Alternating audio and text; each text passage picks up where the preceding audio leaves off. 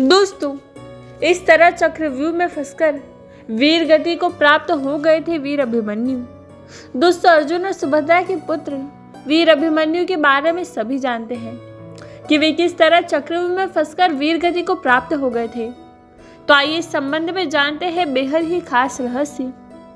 दरअसल, जब द्रोणाचार्य ने देखा कि अर्जुन अपना रथ लेकर दूर निकल गए हैं तब उन्होंने महाभारत युधिष्ठिर को बंधक बनाने के लिए चक्रव्यूह का निर्माण कर दिया।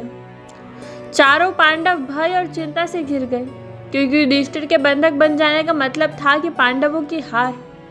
ऐसे में अभिमन्यु ने युधिष्ठिर से कहा कि मैं चक्रव्यूह भेदना जानता हूँ, परंतु उसे बाहर निकलना नहीं।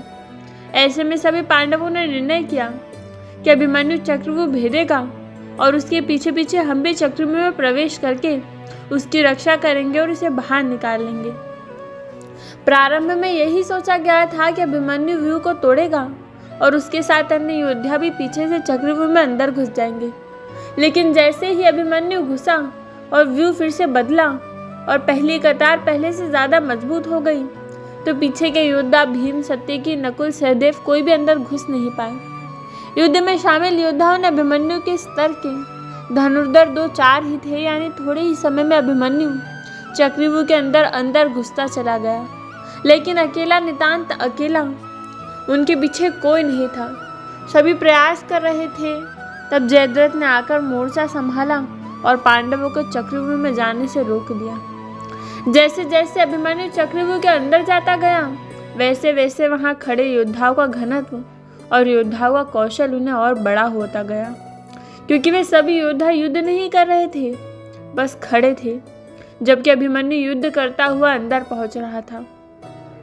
वे जहाँ युद्ध और युद्ध रचना तोड़ने के कारण मानसिक और शारीरिक रूप से थक गए थे, वहीं कौरव पक्ष के योद्धा तरोताजा थे।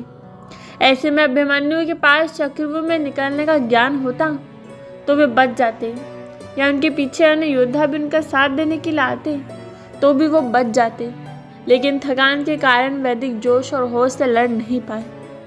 चक्रव्यूह में प्रवेश करने के बाद अभिमन्यु ने कुशलतापूर्वक चक्रव्यूह के छह चरण भेद दिए और इस दौरान अभिमन्यु द्वारा दुर्योधन के पुत्र लक्ष्मण का वध किया गया।